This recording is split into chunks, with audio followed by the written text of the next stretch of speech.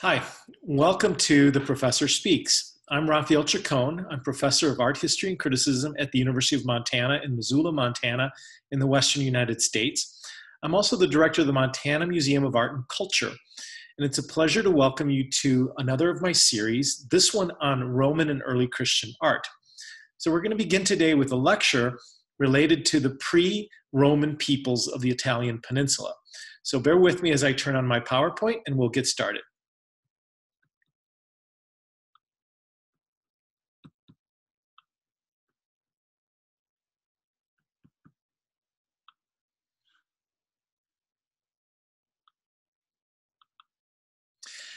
So we begin our discussion today with this image of the Mediterranean basin.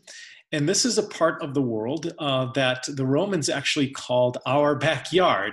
Uh, in fact, the, uh, the term that they used for the Mediterranean Sea was il mare nostrum, our, our sea, our personal sea, if you will.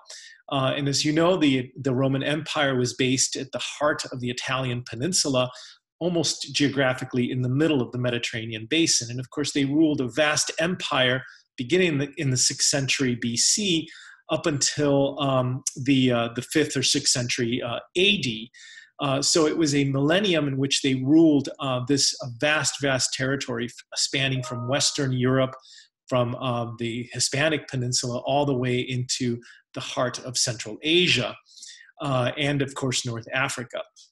And of course, the Romans saw themselves as having a destiny to rule the world, and they are, in fact, the first great empire of the Western world, uh, following, of course, the Greek Empire, which was uh, vast in its own right.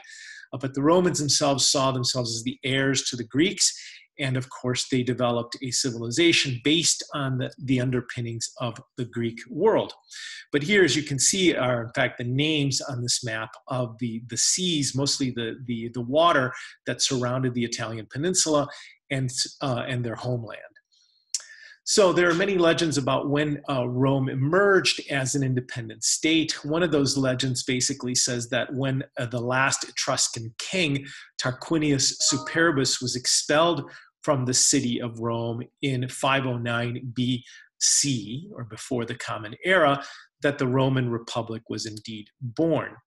But prior to that, the Italian peninsula had a long history of uh, pre Roman peoples um, settling there, tribes that settled there, uh, developed a way of life, uh, mostly an agricultural way of life. Uh, and these folks uh, were mostly uh, spoke a, a, language known as Sabellic, and uh, so it's a predecessor to uh, to the, the, the language of uh, what we call Italian today. These tribes included people like the Apulians, the Faliscans, the Latins, the Oscans, the Samnites, etc. They frequently fought each other over grazing uh, of agricultural lands and farmlands. Uh, where they tended cattle and sheep and goats and um, and grew their own food. And so um, these people had sophisticated ways of life. Some of them lived in small settlements, others uh, developed actually towns. Uh, they worshiped natural deities, the natural forces in the world around them. Uh, they made sacrifices, animal sacrifices to their gods. And increasingly, as they came into contact with um, uh, other uh, traveling peoples, particularly the Greeks, uh, they began to embrace the religions, the, of, the, of the ancient Greeks, uh, namely their gods. They eventually became literate, and, uh, and many of them uh, spoke and wrote Greek, as well as other languages, including Etruscan, which is another language that emerges in this peninsula, and Latin as well. So, um, between uh, uh, so those are the first peoples that inhabited the Italian peninsula before uh, the Romans developed their civilization. There were other peoples here. I've mentioned the Greeks. Between 800 and 400 BC, the Greeks began to colonize the southern part of the Italian peninsula. That is, the southern part of that, uh, that uh, landscape that looks like a boot if you look at it on a map. So the southern part of the boot was colonized by the Greeks. And there are many uh, famous Italian cities today that were once originally Greek colonies, coastal colonies for this uh, maritime empire.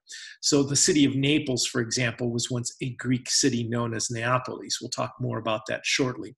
But very a great number of famous Italian cities, uh, Paestum, Taranto, Agrigento, Syracuse, and in the island of Sicily, those were, uh, in fact, Greek colonies, settled by Greeks, actually. And to a certain extent, they were rivals, but also uh, trading partners to those um, Italic peoples uh, who uh, dominated the, line, uh, the lion's share of the Italian peninsula. And then there was another great tribe, particularly in the north, between the Tiber River, uh, where Rome is, uh, and the Arno River farther north. And that central northern part of the peninsula was inhabited by a tribe known as the Etruscans. So we'll talk more about the Etruscans and their famous settlements uh, as well. So, three major peoples inhabiting the peninsula before Rome became the civilization that it was. The, um, the Italic peoples of the peninsula, the original tribes of the peninsula, then the Greeks, and then finally the Etruscans. We'll speak about all three of them in today's uh, discussion. So here's a map that gives you a sense of how widespread those Italic tribes were prior to, uh, to the rise of the Romans. Uh, in this map, they're shown in yellow, and you see that the Samnites uh, were surrounded by other neighboring peoples like the Oscans, the Apulians, uh, the, Luca, uh, the Lucans, etc., uh, the Sabines farther north, and the Umbrians. These people lived mostly to the east uh, and north of the Apennine mountain range, which is sort of the spine of the peninsula. And then farther west, what we see are other smaller tribes.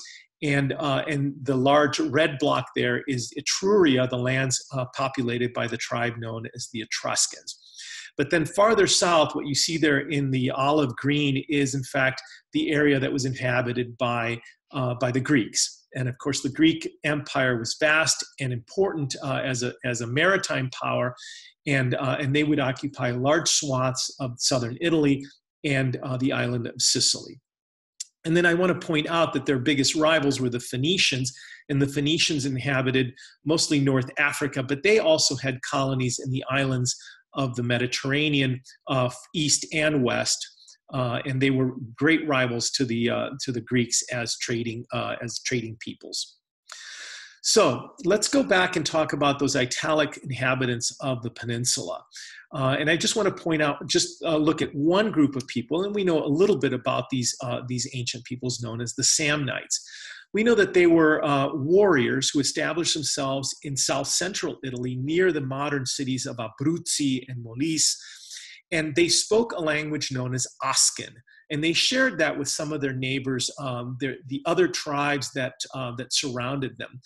They uh, were loosely confederated with some of these tribes. At times, they were partners. At other times, they were rivals.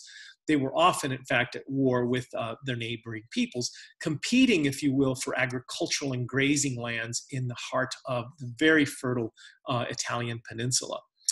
Uh, we know that we know that the Samnites worshipped a trilogy of gods. Um, they looked at birds as sacred beings, and that they also had a rich funerary culture. In other words, they buried their dead and buried goods with them. And we know that they also, as the Romans uh, began to rise farther west uh, and began to expand and conquer their neighbors, um, that um, that they weren't happy, and so they actually fought against the uh, the rising Roman state in uh, in about the fifth uh, the 400 to 300 BC. And they also fought guerrilla wars in the fourth century into the third century BC. They formed a, uh, a an alliance with uh, larger peoples, larger groups, uh, so like the Etruscans and the Umbrians and the Gauls tribes to the north. Um, and sadly enough, that was a, an ill fated alliance because that alliance was defeated by the Romans in the third century BC. Uh, but they continued to, to hold on, uh, to cling to their traditions, their language, their customs, their, uh, their religions, um, until they finally were, in fact, uh, defeated definitively by the Romans in what is known as the Social War in the first century BC and in fact absorbed into the Roman Empire. And so aspects of Samnite uh, uh, life and tradition and, uh, and certainly beliefs were absorbed by their neighbors, the Romans, uh, that became a, an expansionistic empire um, uh, in the in the first um, in the last half of the uh, of the millennium before the Common Era, before zero. So, uh, as was true with most of the Italic uh, neighbors to the to the Romans, the Romans absorbed their traditions and, in some ways, eradicated them as uh, as individual, independent states or independent peoples. Their tribes, those tribes, became a part of the Roman uh, state and Roman uh, civilization. So let me again bring you, uh, zoom out to a much larger map showing us the, the Mediterranean basin. And what we see here is a number of different, uh, again, great states that, um, that precede the Romans as, as a, a, great civilization. In blue, in dark blue, uh, is in fact the, um, the Greek Empire. And of course, the Greeks were based in the Hellenic Peninsula. That's that, uh, that uh, large peninsula that projects there to the east of the Italian boot. Uh, it looks like a little hand poking down into the Mediterranean, and it's surrounded by thousands of islands. Uh, and that was the, the homeland of the Hellenic peoples or the Greek Empire. But of course, it spread far east into the Black Sea and all along Asia Minor, which is now modern day Turkey. Um, and then uh, parts of North Africa were also part of the Greek Empire. Certainly, the southern part of the Italian boot and then also uh, islands to the uh, to the west of Italy, and as far west as uh, the Hispanic Peninsula in Portugal. There's evidence of the Greeks as uh, as trade as trading uh, a trading force in that part of the world.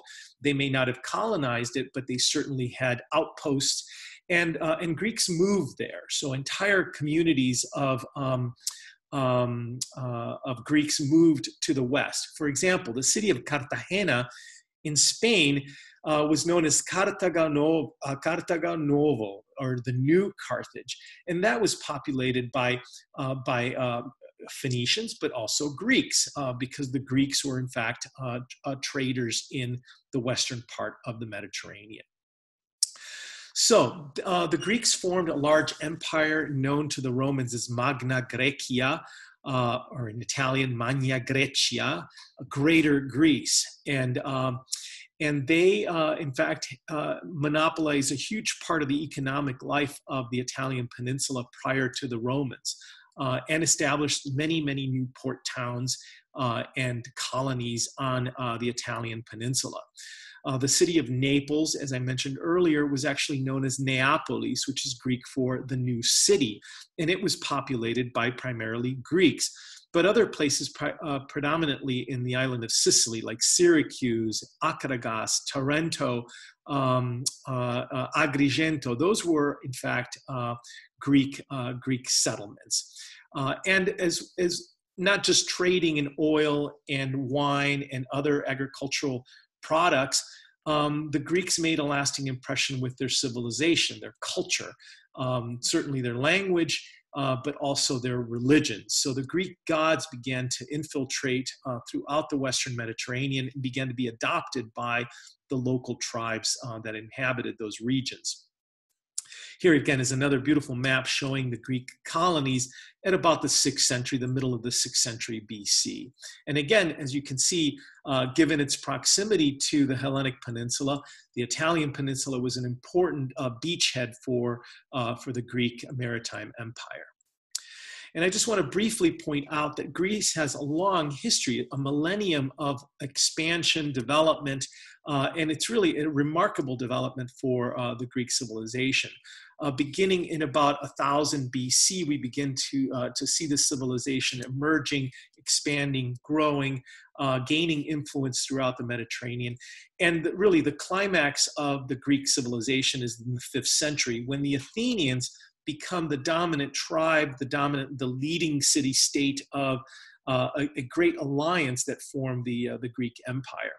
Uh, and of course, all of that ended with um, Alexander the Great in the fourth century BC, um, and the rise of Rome, if you will, to, uh, to, to pick up the pieces where the Greek Empire left off. The Romans, I can say with, uh, with some certainty, were great copycats. And the civilization that they most admired they, they traveled extensively and knew many civilizations, including ancient Egypt. Uh, but the civilization that they truly admired um, were the Greeks.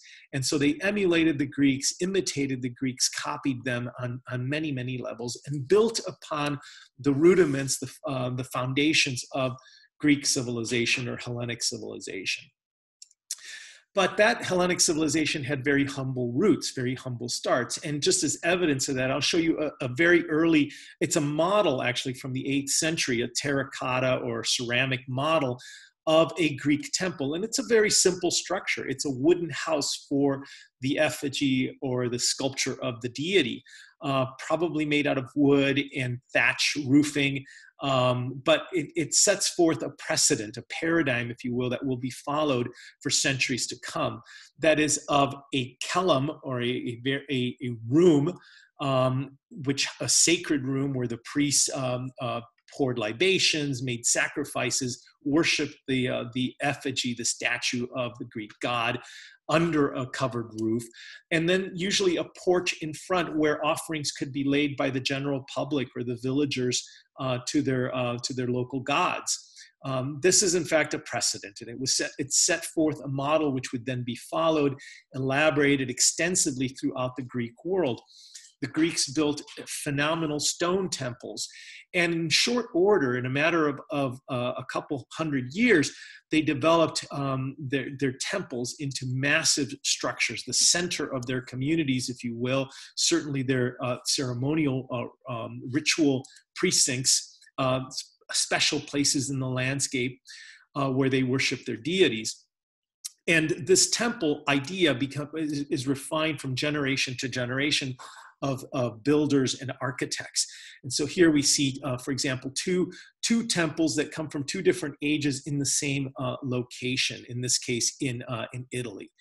Um, here's another one in Greece that shows us, in fact, now uh, in, by, the, uh, by the sixth century, uh, in the fifth into the fifth century, really the refinement of the temple. And of course, what we're looking at are ruins. Uh, the superstructure, the wooden roof, the timbers are all gone from a building like this, as are the frescoes, uh, the, the brightly colored paintings that that adorned these temples, and the, the statues, the images of the gods and the heroes that the Greeks um, admired and worshipped in these uh, in these buildings.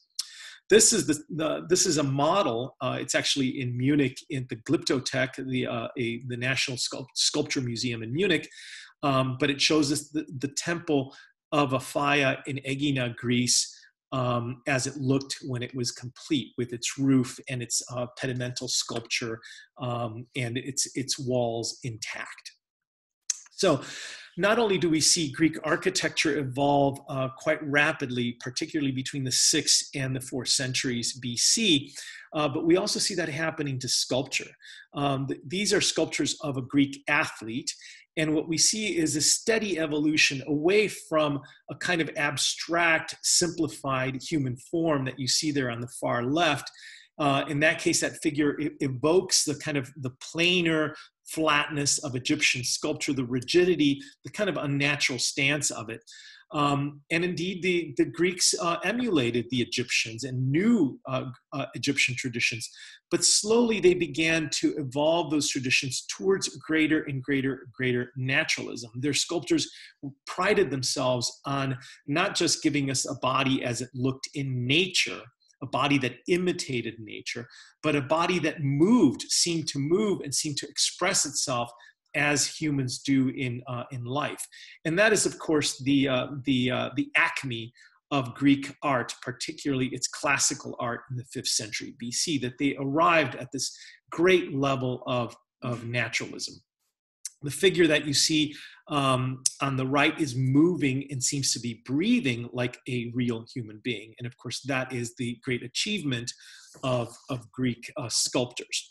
Uh, this is, in fact, probably the most naturalistic of them all. This is a, a figure of a youth, a young athlete uh, discovered in Kritios, um, one of the Greek, um, uh, uh, uh, Greek cities.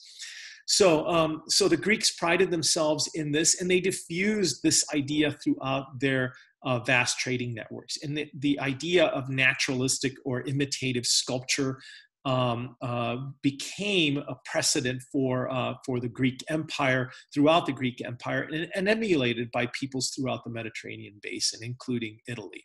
Uh, this is, in fact, what the Romans most admired about uh, Greek art and civilization.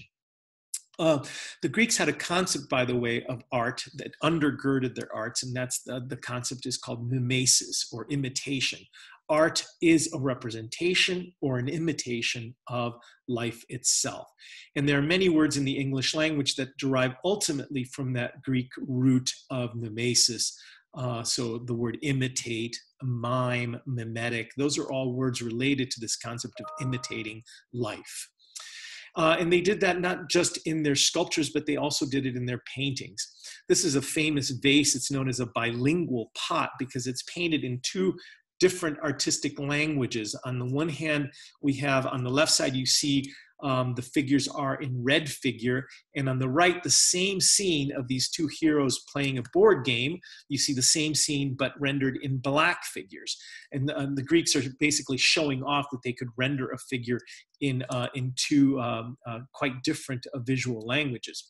But what is important about Greek pots is that they capture for us they give us a snapshot of the kinds of paintings, the frescoes that the, uh, that the Greeks uh, surrounded themselves with. And the stress, the emphasis on this was naturalism, figures looking like life, moving, um, having the, the proportions of figures in real life. This is a vase, uh, excuse me, a, a, a pot, a, um, a large, cra- uh, a large uh, uh, amphora which more than likely contained wine. And you see, in fact, figures reveling or dancing in a kind of party uh, and they um, they're holding Greek vessels in which they were drinking more than likely wine. So uh, these pots are, are evidence of the mastery of Greek artists in, uh, in the second dimension. So I mentioned that, uh, that the Greeks, in fact, had settled in large parts of southern Italy, mostly the regions of the, the tip of the, of the boot, uh, the region known as Calabria, and farther north, Apulia and Campania. And there we see a number of cities going all the way up to Naples there in the, uh, in the western part of the, uh, uh, the western seaboard of the Italian peninsula.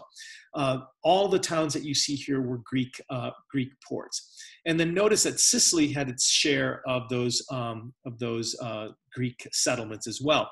And by the way, I'm showing you an, uh, a map on the right and then also an aerial view, a Landsat photograph of Sicily and the tip of Calabria.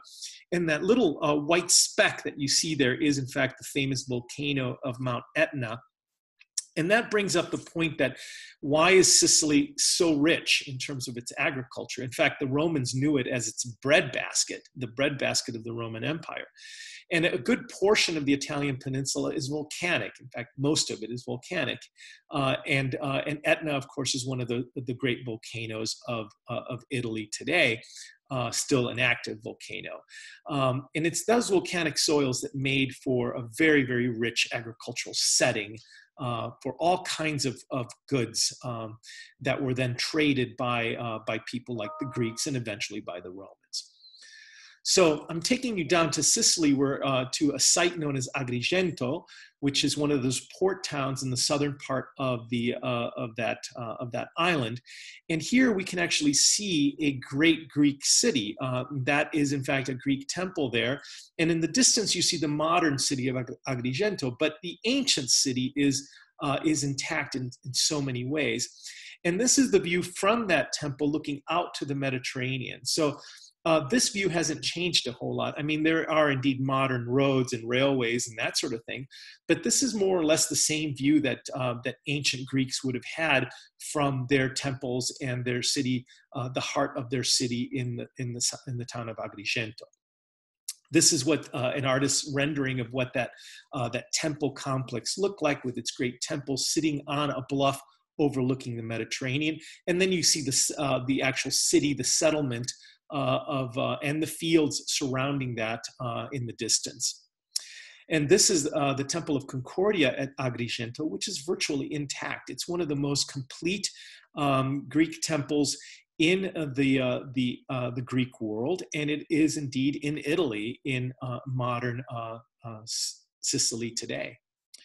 And this sculpture that you see here was found at that site, and this is a a Greek statue of a youth, and it's currently in the museum there at Agrigento, um, a beautiful sculpture of in that naturalistic style of the fifth century BC that prized um, naturalistic style of Greek art at that moment.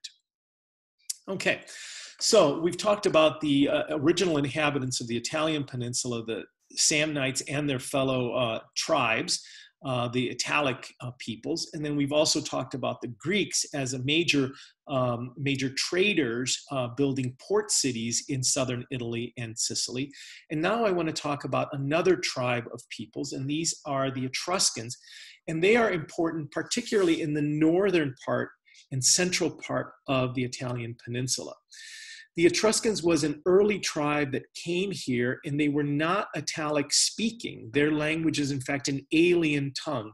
They were unrelated to those Samnites and Umbrians and the Apulians and the people who inhabited that, uh, the Italian peninsula. They're linguistically of a different stock and maybe ethnically of a different stock as well. Their origins are murky the uh, hist- ancient historian Herodotus tells us that they were Lydians, that they were immigrants actually who sailed from ancient Asia Minor, which is modern day Turkey, a- across the Mediterranean around the, um, the Italian boot and settled in the Tyrrhenian seacoast of Italy. So that is its northwestern uh, uh, seaboard. Uh, and they settled there as probably as early as 1000 BC. So they were contemporaneous with those Italic tribes just south and east of the Apennine uh, mountain ranges. Um, and so, uh, but what is true is that by 800 BC, they were already interacting uh, quite forcefully with uh, both those Italic speaking peoples and the Greeks uh, to the south. And by 700 BC, they had a flourishing civilization in this north central part of the Italian peninsula they were so important that they actually began to conquer some of those Italian peoples, including the Latins to the south. And we know that between 616 uh, and 510 BC, they were, in fact, they had conquered uh, the place that we call Rome today. And they had kings ruling out of that place. So ultimately, the Romans had their revenge on the Etruscans by conquering them and conquering their territories by about 200 BC. But for a long span of history, the Etruscans ruled in modern day Rome. In fact, it's the Etruscans who built the sewers of ancient Rome and began the whole system of walls that we identify with the later Romans. So, one of the things that is true about the Etruscans is that they left us a evidence of a great and fabulous material culture, a fabulous material culture that would inspire the, uh, and, and predict in some ways the way the Romans would organize themselves and adorn themselves as a people, as, as a civilization. So if the Greeks were important to the Romans, so were the Etruscans. And here I'm showing you a map showing us the, uh, the a great number of Italian cities that uh, derive from the uh, Etruscan settlements. So Florence, uh, Perugia, uh, certainly uh, um, uh, Cerveteri, Tarquinia. These are these are modern Italian cities that have Etruscan roots, and there are many, many, many more than what you see on this on this map. So um, this is another map that shows us, in fact, when the Etruscans had formed a league, if you will, when all these little city-states were, in fact, bonded together and began to expand Etruscan civilization, and who their neighbors were. So to the north were the Gauls, the ancestors of the modern-day French people, uh, and then to the south, of course, were the Latins, um, led by the Romans, and then those Italic tribes uh, south and east, and then far, much farther south, of course, the Greeks and the Phoenicians. Okay, and then this little map is interesting because it gives us a chronology of how Rome begins to expand. And you'll notice that the Roman Empire begins actually to move first to the north to conquer Etruscan lands, and then it eventually conquers all of Etruria, conquers all of the tribes east of the Apennines, and moves south into those former uh, Greek lands. So Rome, for whatever reason, we'll talk more about this in future lectures, begins to emerge out of its shell and uh, it begins to conquer its neighbors, including the Etruscans. But for a long time, the Etruscans were a major, major force in the Italian peninsula. Similar, related to sharing civilization with the Greeks, but really their own thing, their own civilization. This is, for example, a, an Etruscan temple. And if you, it might look familiar to us in many ways, but it's very different from the Greek model. It, it's, in fact, a more Oriental, a more Asian style temple than even the Greeks had. Uh, but it shares some things, you know, the idea of a, a room where the effigies were held, the gods were, were held, a front porch, a raking roof, um, to cover the whole thing, sculptures on the pediment, etc. Um, but as you can see, it's a very different uh, looking temple. It's a temple that was lost during Roman times in the Italian peninsula, uh, namely because the Romans emulated and preferred the Greek style temple. This is a view showing us uh, a, a um, the site of Cerveteri in Italy today. And this is, uh, Cerveteri has a fabulous uh, um, Etruscan cemetery. And you see it in actually an, excavate, in an excavated part down uh, at the lower part of the screen. Uh, and then in the upper part, what looks like mounds uh, under a lot of vegetation, those are uh, also tombs, Etruscan tombs, in this case, um, unexcavated. They have been explored, but not excavated to the extent of the ones to the south. And what these tombs tell us about the Etruscans is that they were a fabulously wealthy and cosmopolitan people. Uh, they spoke their own language, they had their own script, they had their own uh, deities, et cetera, et cetera, but they were also in league and in conversation with the greater Mediterranean basin. Some of their art, and I'm just showing you a piece of jewelry found in, uh, in the, one of the tombs at Cerveteri, uh, has uh, the jewelry demonstrates evidence of trade with uh, as far east as the Near East and Mesopotamia uh, Central Asia, Egypt, etc. Those sorts of themes emerge, uh, appear in Etruscan art, sometimes leaving us wondering whether, in fact, the Etruscans developed those things on their own or they were simply imitating the, the fanciest things from their neighbors or actually trading in the goods from these uh, neighboring peoples. But the importance is to know that they were, in fact, quite wealthy and, in fact, quite um, uh, quite cosmopolitan in their in their uh, worldview, and we see that in their own indigenous sculptures. For example, this is a sarcophagus uh, for a, a, a, box that held the remains of a couple, a man and woman, and we see them actually sculpted on the top of this um, this fabulous sarcophagus, a reclining couple. And already we notice that there are some things that look familiar to us about uh, about the sculpture that looks particularly Greek, but there's a lot of things idiosyncrasies that in fact are Etruscan. Uh, the gestures, for example, are really unintelligible to us. We can't really read them because they are indeed Etruscan gestures.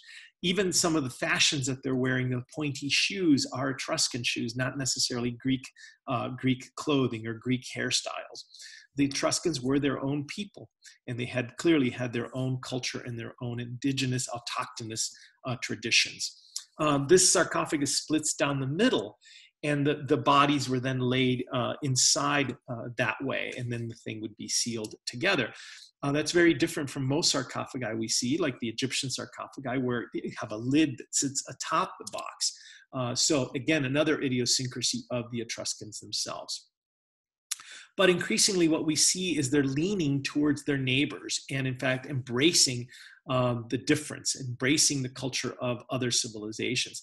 This is, for example, a um, a, a sculpture in ceramic. It's life size. It's five feet eleven inches, so it's a very tall image of a of the figure of Apollo. And we know that this came from the roof of the temple at Portonaccio, um, the Portonaccio temple in Veii in Italy. Uh, so it is in fact an Etruscan temple, but here we have an image of a Greek god. And in fact, this looks like an archaic Greek sculpture in terms of the style terms of the drapery, in terms of the, the pigment, the, uh, the fabulous color that is still on this, uh, this architectural uh, sculpture. Uh, this is a, a, a, an Etruscan sarcophagus of an individual uh, by the name of Lars Pulena. He was buried in this box. And some of this looks familiar to us, and mostly because the Romans picked up these traditions uh, from the Etruscans. But here we see the reclining figure, and now the sarcophagus is, it has a true lid um, on the top, uh, and then the box of it decorated with images. And those images are Apulian deities. So the figures holding uh, hammers and knives and the winged figures, those are Apulian gods, not Greek gods. Uh, the text that, that, the, uh, that Lars Pulena is holding is in fact in Etruscan, not in Greek or Latin. Um, here's another sarcophagus, only this is actually more of, of, a funerary urn because at some point the Etruscans began to cremate their dead and then uh, hold the ashes in urns like this. And if this looks particularly Greek, it's because the style is very, very Greek. So again, the Etruscans were trading with the Greeks, borrowing from the Greeks, imitating the Greeks. Um, this is a typical Etruscan tomb. This is carved out of volcanic stone called tufa. And what it shows us is a large room, an ample room with lots and lots of carvings of the tufa, which is an amazing stone. It has great tensile strength, and you can actually carve it with imagery related to the lives of the Etruscan dead. Uh, shelves were carved into it where the bodies were laying, the sarcophagi or the funerary urns were placed.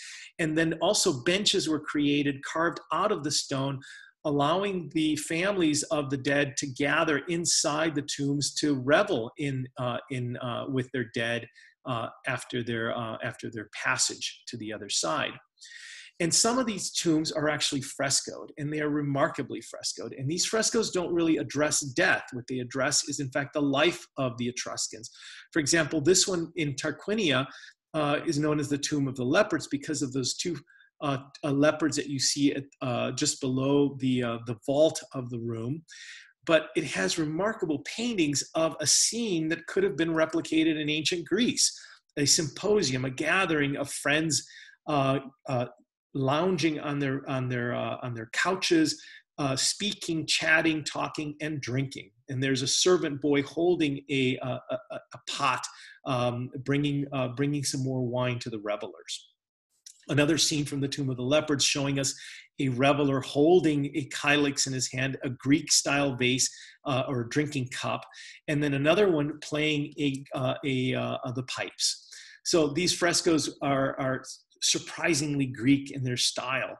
Um, and that's because, again, more, and, and it's entirely possible that these could have been Greek artists working for uh, Etruscan uh, Etruscan uh, peoples here in Italy.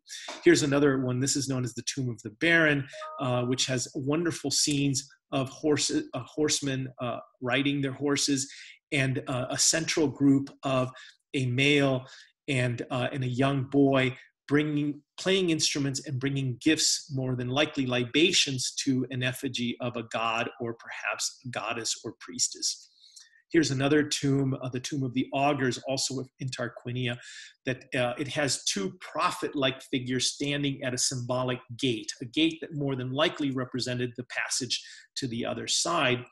And we know that the individual who was buried here in this tomb was more than likely an athlete, a wrestler.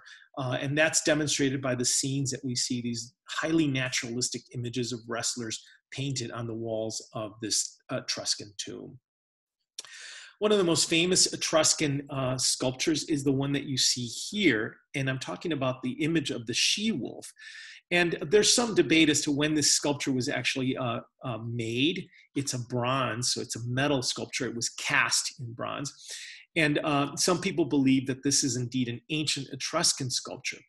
What I can tell you is that the little uh, little figures of those boys suckling from the teats of the of the of the wolf are not Etruscan. Those are actually Baroque sculptures. They come from the 17th century, 17th century, yes, um, and they were added to this sculpture, mostly in emulation or evoking an evocation of the story of Romulus and Remus, the ancient myth about the origins of, of the city of Rome. Um, and apparently, Romulus and Remus, according to the myth, were raised by a she wolf. And this is known as the Capitoline she wolf because it stood on the Capitoline Hill for many, many years in the Roman capital. But more than likely, it's an Etruscan sculpture, a naturalistic, beautiful, uh, life-size sculpture of a wolf um, uh, from the Etruscan world. And we know that the Etruscans uh, cast bronzes, lifelike, naturalistic bronzes, uh, particularly of animals. Uh, so here again is, a, is an image of those little later uh, additions to the, uh, to, to the sculpture to form a narrative group of Romulus, Remus, and the she-wolf. You might, uh, and just to end here, you might mistake this statue uh, for a Greek sculpture because we know that the Greeks cast bronzes. You might mistake it for a Roman sculpture because this looks like a Roman individual, a portrait of a Roman individual uh, standing in a toga. But it's not. This is an Etruscan sculpture. Uh, this is an image we know as Aule Metele or arringatore in Italian. And this comes from the city of Cortona in Italy, uh, which was an Etruscan settlement. Uh, this individual is an orator, a, a public speaker, uh, a known public speaker. And it shows us, in fact, the wealth, the, uh, the capacity of Etruscan artists working probably in concert with uh, with uh, Greek artisans who who populated the entire Mediterranean basin at this time. Uh, but it is in fact the precedents that the that the Romans will emulate.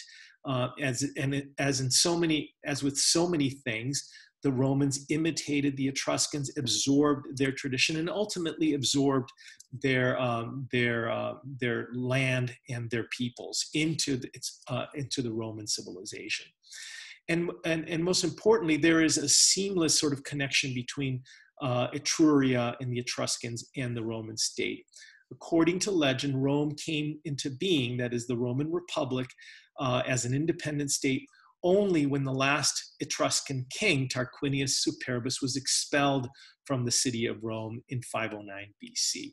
And so we'll end our conversation uh, here with that, uh, with that idea, and we'll pick up uh, the next time talking about the development of the Roman uh, state as an independent uh, civilization. Thanks for your attention, and don't forget to like this on the bottom of your YouTube uh, screen. Thank you.